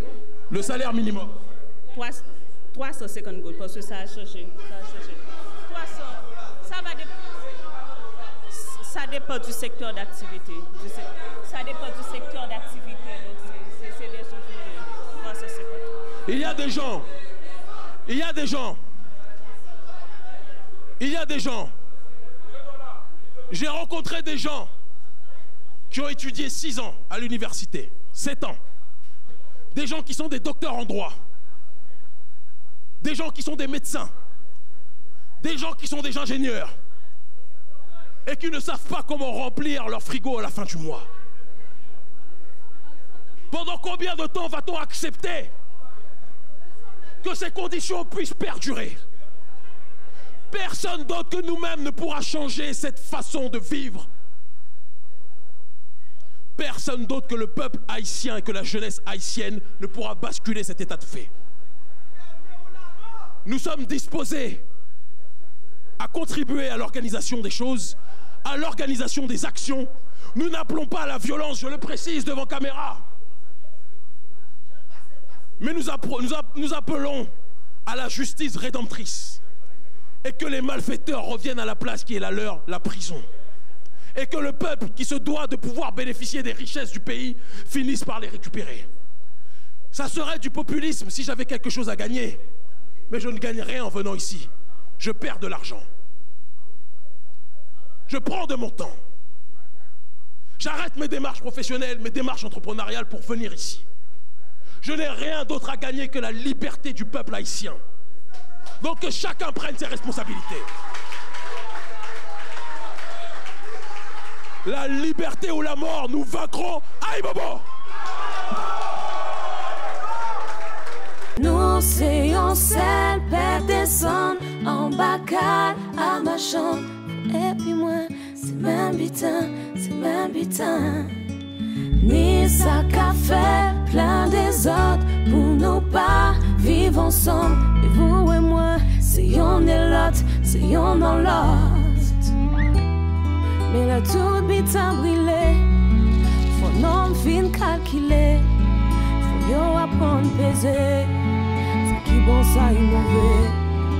Mais t'es en liberté, j'apprends ton résilier, j'apprends ton espérer. Haïti chérie, la vie pas finie.